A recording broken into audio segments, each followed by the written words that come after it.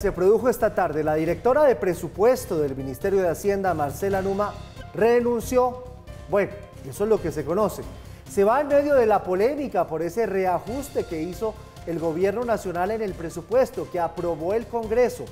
13 billones que ya tenían hacia dónde iban a ser dirigidos, pues se dio un viraje y el gobierno decidió hacer una revisión y ejecutar una priorización, que en otras palabras quiere decir el presidente decide en qué se van a ejecutar esos 13 billones.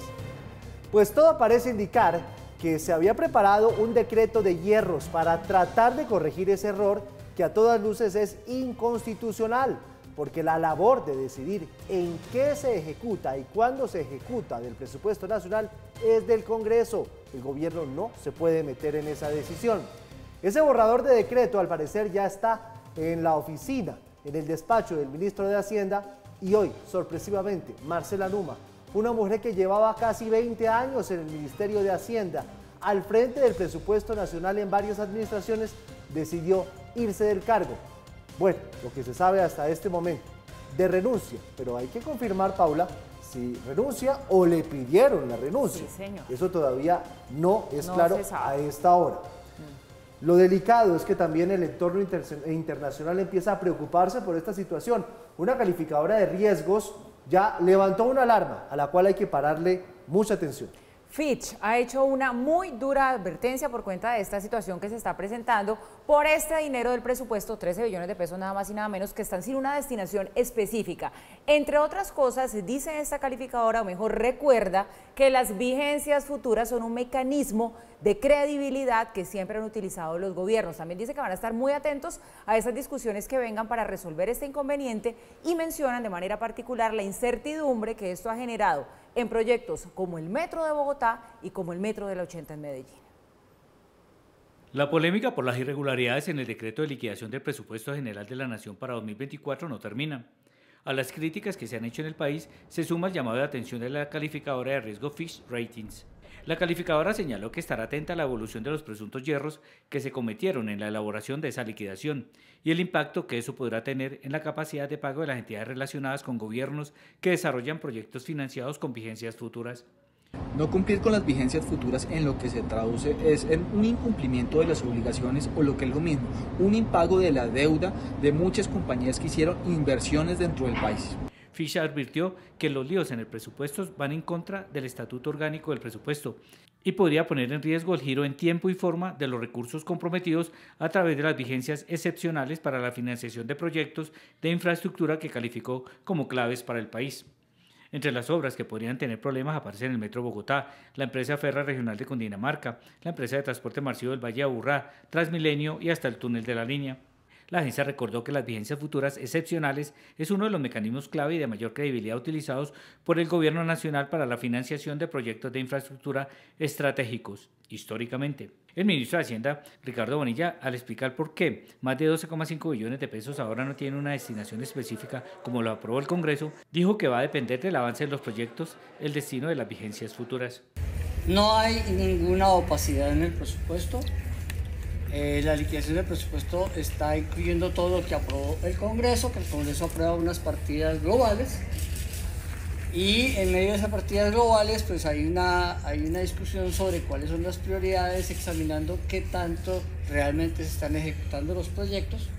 Lo que hay que planear, eh, examinar es si lo que está previsto para este año debería entregarse dado el nivel de retraso de la obra. Sin embargo, algunas opiniones del gobierno han buscado aclarar la situación y envían el mensaje de que, como lo dijo el presidente en el Congreso de Infraestructura, se van a respetar los contratos firmados, pero se insiste en priorizar gastos. Hablando de los puntos de convergencia en el Congreso, le hablo de la ley de presupuesto. La infraestructura está en alerta, puede paralizarse. Hay quienes dicen que hay por lo menos 100 proyectos estratégicos en vilo la primera línea del metro, incluso el túnel de la línea, por cuenta de un ejercicio de priorización del presidente donde más o menos es, se invierte en lo que el presidente le parezca. Se metieron con las facultades del Congreso.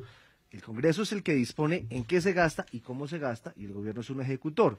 ¿Usted cómo va a defender eso en el Congreso? Y se lo pregunto a portas de reforma a la salud, reforma pensional, reforma laboral, donde usted necesita las mayorías y esto evidentemente los divide. El presupuesto no solo se va ejecutando de acuerdo a mm, el flujo de caja, sino a los avances de las obras. Uno de los grandes errores que tiene la administración es apropiar recursos para programas que no están listos. ¿Quién termina ganando en esas apropiaciones de recursos? El sistema financiero, que termina recogiendo en las fiducias los recursos de todos los colombianos que deberían estar aplicándose a obras específicas. Nosotros no vamos a burlar las prioridades del Congreso. ¿No se va a incumplir? No, no, no, no, no, es que no se puede. Vigencia futura, una vigencia futura no se puede incumplir, porque una vigencia futura es una obligación que ha hecho el Estado. Si nosotros vamos a ¿van a corregir el decreto o lo van a mantener? Ese es un tema de Hacienda. El decreto básicamente lo que señala la, con el Congreso. No, sí, claro, pero la liquidación del decreto trae absolutamente todas las obras. Desde el sector de la infraestructura se dijo que el no honrar los compromisos con las vigencias futuras atenta contra la seguridad jurídica y la confianza inversionista. Queda en grave evidencia el hecho de que la confianza inversionista y la seguridad jurídica se verían seriamente lesionadas. En el Congreso, donde se tramita presupuesto y se establece el cronograma de inversiones, tampoco ha gustado el trámite que le quiere dar el gobierno a los recursos. El decreto de liquidación del presupuesto está desconociendo al Congreso de la República. Es otra acción más del gobierno Gustavo Petro donde se debilita la institucionalidad colombiana, no se respeta la división de poderes, se afecta y no se reconoce las leyes y la constitución. El presidente Petro le dio por quitarle la plata a los territorios. Concentra 13 billones de pesos para gastárselos, quién sabe en qué, plata que estaba destinada desde el Congreso directamente para las obras de infraestructura más importantes de la región. El presidente del Consejo Gremial, Burgos Master, y de la Cámara Colombiana de Infraestructura, Juan Martín Caicedo, se reunieron con el ministro de Hacienda para conocer más sobre el tema, y el gobierno les dijo que hará lo necesario para generar tranquilidad, que se instalarán unas mesas de trabajo. No hubo avance. Fish continuará monitoreando el diálogo entre los gobiernos locales y el gobierno nacional para asegurar la confinanciación de los proyectos de infraestructura que están en desarrollo y los que piensan realizar las nuevas administraciones. ¿Qué querrá decir mesas de trabajo, Paula? Mm. Porque es que esas mesas de trabajo pues son mesas de trabajo, pero conclusiones no hay. A mí lo que me preocupa es que aquí, se como se lo dije al ministro, aquí se metieron con las facultades del Congreso. Es que el que decide en qué se invierte y cuánto se invierte es el Congreso. El gobierno es un ejecutor. Entonces están quitando, eso es una ruptura institucional, porque usted está quitando al Congreso de una tarea que le toca a él y asumiéndola a usted. La verdad la pregunta es esa, o sea, ¿qué va a hacer el gobierno? Porque entonces sí los escuchan, el ministro eh, escucha a los gremios, escucha a la Cámara Colombiana de la Infraestructura, pero no se comprometen en ningún momento dicen, oiga, yo voy a corregir esto y voy a sacar el decreto de hierros para echar esto para atrás. Eso no pasó. Y mientras tanto las calificadoras pues ya empiezan a reaccionar, nada más y nada menos. Claro, porque hay incertidumbre. Y el ministro del Interior, ayer yo lo sentí en la Luciana como diciendo, como dando a aquí debe haber un decreto de hierros que, que, corrija esto y no vamos a incumplir. Y hoy la directora de presupuesto va afuera. Ah, bueno, y además lo reconoce, lo reconoce el ministro del Interior, dice, yo, esto tenemos que corregirlo, pero eso debe hacerlo el ministro de Hacienda. Sí. No, tampoco es de sus competencias, entonces es muy complicado. Y en esa coyuntura se va la directora Eso es muy difícil.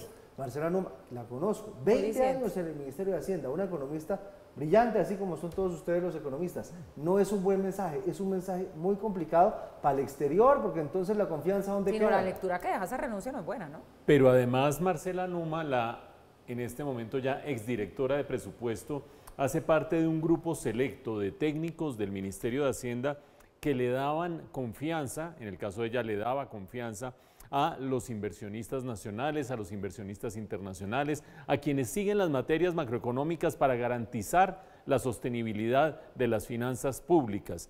Hay tres o cuatro cargos claves dentro del Ministerio de Hacienda que han tenido además funcionarios de carrera, unos tecnócratas a toda prueba, no obstante que el actual gobierno menosprecia a los tecnócratas, unos tecnócratas a toda prueba que garantizan que la macroeconomía se está manejando adecuadamente. Pues bien, vean ustedes, una de esas figuras claves de uno de esos cuatro, tres o cuatro cargos ha salido el día de hoy y eh, vean ustedes en la nota, aparentemente por eh, que el presidente mismo le pidió la renuncia a la doctora Marcela Numa. Volvamos a recordar el punto fundamental En este noticiero registramos el semestre pasado la disputa en el Congreso, que sí, que no, que de qué tamaño queda el presupuesto, que cómo se va a ejecutar el presupuesto. Pues bien, en el Congreso se define, de acuerdo con las eh, normas constitucionales, cuánto se gasta y en qué se gasta de parte del gobierno y el gobierno ejecuta lo que el, Congreso ha decidido. El Congreso saca una ley de presupuesto y la aprueba y el gobierno, para hacerlo operativo, saca un decreto de ejecución presupuestal.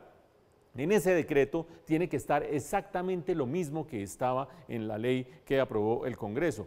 Y eso no está sucediendo.